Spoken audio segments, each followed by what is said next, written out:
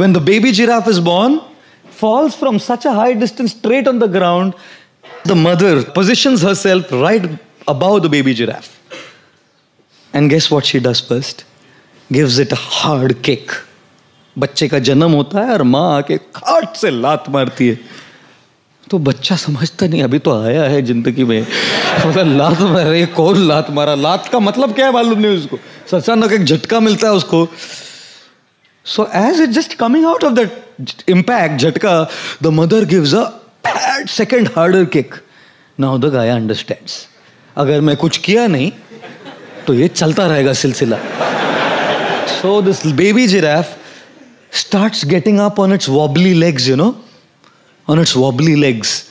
And as the baby giraffe gets up on the wobbly leg, थोड़ा खड़ा होकर खड़ा होना सीखा ना फैड एक और लात मारती है माँ